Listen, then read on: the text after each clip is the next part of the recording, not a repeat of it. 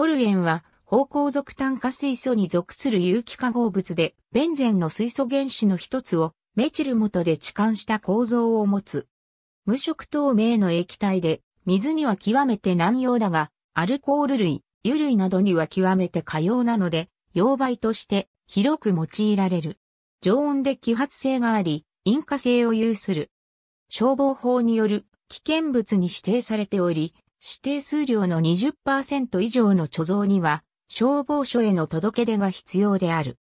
人体に対しては麻酔作用があるほか、毒性が強く、日本では毒物及び劇物取締法により、劇物に指定されている。管理の濃度は午後20時である。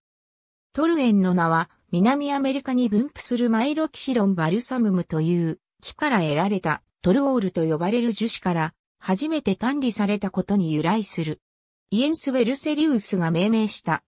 トルエンは通常の芳香属炭化水素と同様に芳香属級電子置換反応の基質となる。メチル元の存在により、ベンゼンの約25倍の反応性を持っている。特徴的な周期を持ち、無色、沸点は約111度、融点は約マイナス95度であり、通常では液体である。水を1とした時の比重は0.87。トルエンは穏やかなスルホン化により B、トルエンスルホン酸を生成する。また酸化鉄の存在化、塩素により塩素化反応を起こし、オルトパラアイソマーのクロロトルエンを生成する。ニトロ化では、オルトパラアイソマーのニトロトルエンを生成するが、加熱することで、ジニトロトルエン、最終的には爆発性のトリニトロトルエンを生成する。ハロゲン化反応は、フリーラジカル条件下でも進行し、その時ハロゲンはメチル元に入る。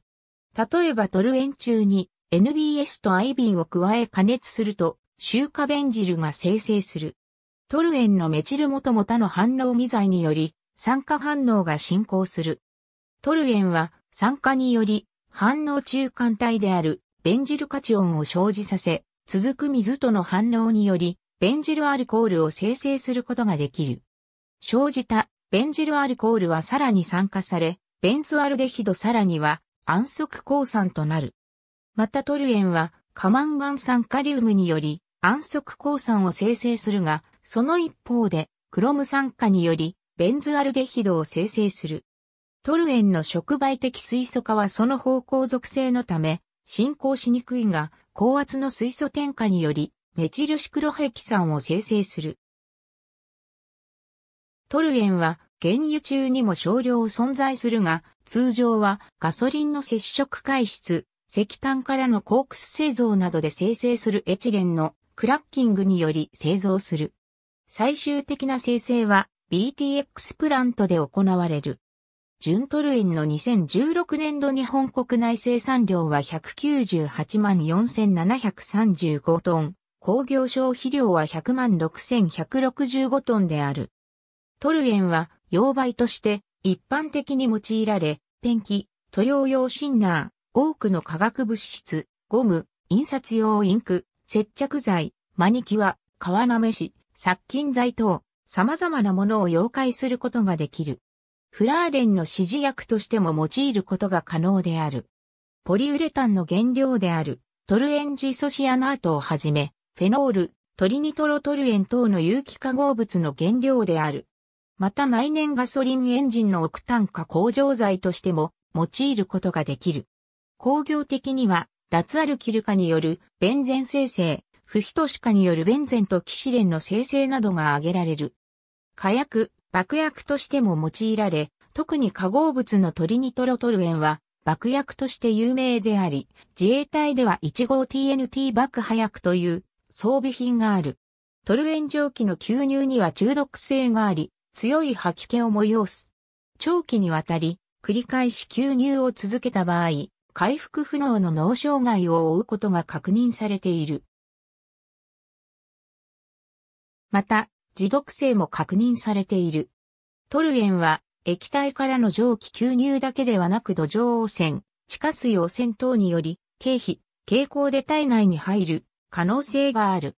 また、塗料や樹脂などの建材の溶剤として用いられたトルエンが室内に放出されることがあり、シックハウス症候群の原因物質の一つであると言われている。また排気ガス等にも含まれている。トルエンは代謝によりその大部分が排出される。ただし、トルエンは水への溶解度が低いため、汗や尿といった通常の経路では排出することができない。